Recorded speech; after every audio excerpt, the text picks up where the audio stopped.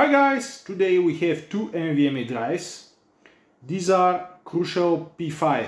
The one is 1000 gigabytes or a terabyte and the other is 500 gigabytes.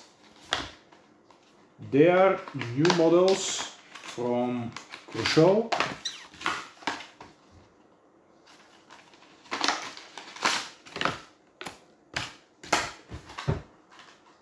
and they are unfortunately or fortunately still Gen 3 PCI Express Gen 3 drives, not the new Gen 4 standard.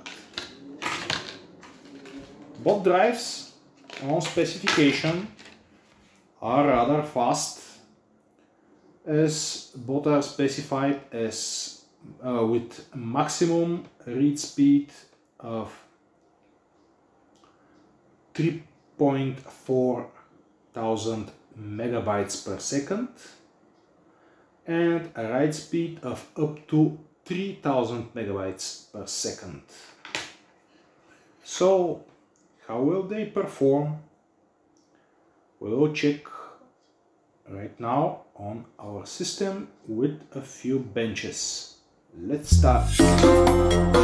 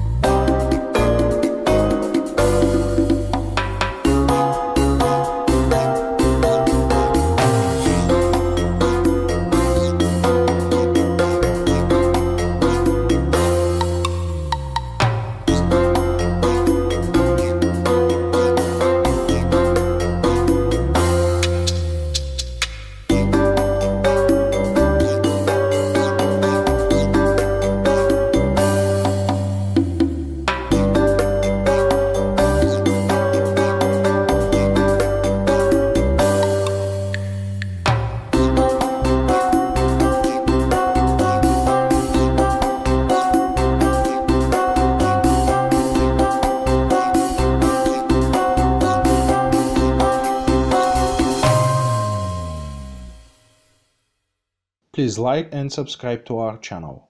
Have a nice day.